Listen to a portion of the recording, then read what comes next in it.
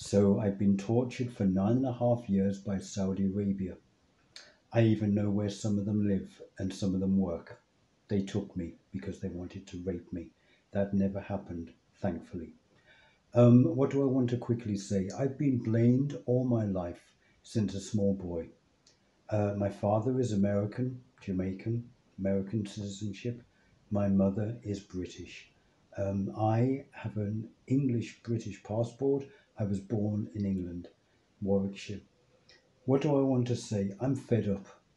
I'm being blamed constantly for things that I haven't done.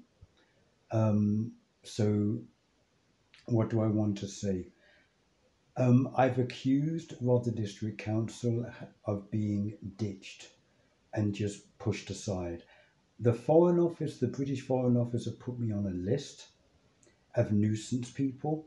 They used a special Freemasonic word Yes, they're Freemasons, a lot of them. Um, I've been told this. Um,